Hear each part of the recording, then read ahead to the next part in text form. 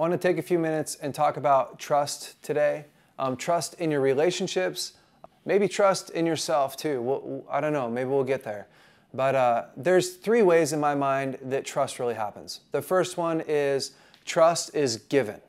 Sometimes uh, we decide to jump in a taxi cab or we call a Uber and we, we get inside the car with somebody and you actually don't really know if you can trust them. You are hoping you can trust them, but you just give them your trust. And you're also trusting that they're going to take you to the place that you want to get taken, not the place that they actually want to take you.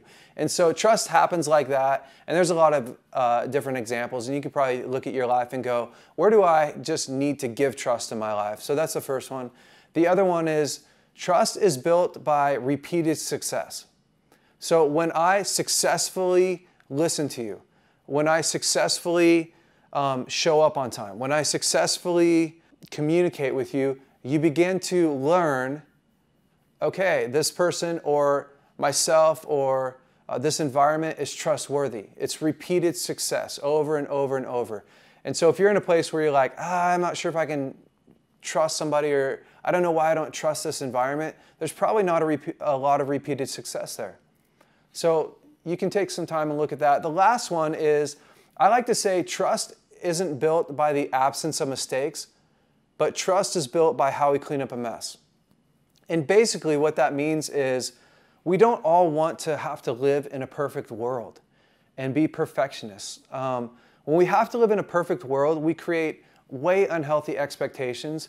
But it, a really beautiful thing happens when I know or when you know that you can fail and clean up a mess and make it better than what it was before. And that's really the story of our life. Life is one big success, fail, learn from the fail, learn from the success, repeat that over and over again. And obviously, I'm not talking about moral failure, things like that, because that really erodes trust. Um, and that's really hard to recover from. But even that, even moral failure, I've seen a lot of marriages better than before after falling morally because of how they rebuilt the trust um, and, and the actual things that they did. But here's a couple things to think about when you're trying to build a platform, uh, when you're thinking through what do I need in order to build trust with a person. The first one that comes to mind to me is do they know your story? Do they know your story and can they handle it?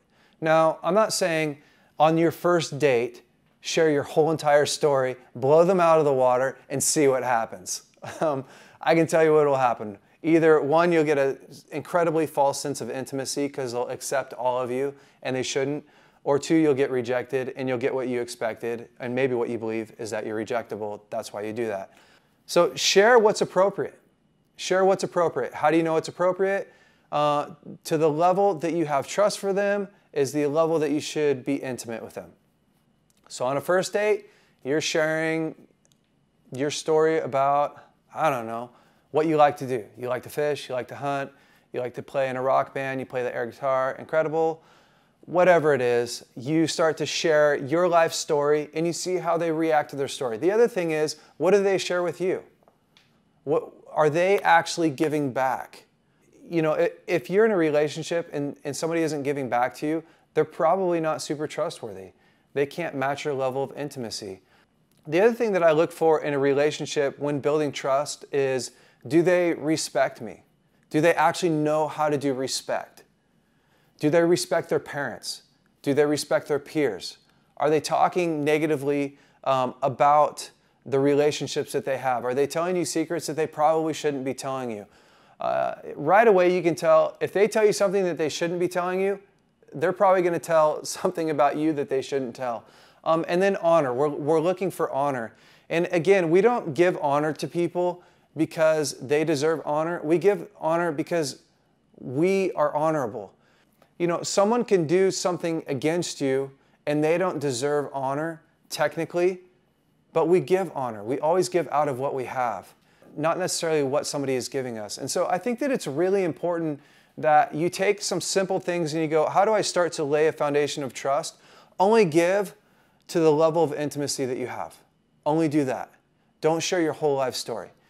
The other thing, make sure that they can handle your story, your failures, and your successes and that they can accept you. In small doses, you're going to grow that. Uh, make sure that they know how to do respect and honor. How they treat other people will be how they treat you. And so just begin to cultivate a life where you find relationships that can handle that, where you can build with people that are like minded and are actually going after the same goals in relationship. And you'll begin to build levels of trust with people that you didn't think you could. Find people with the same target, the same goal in mind.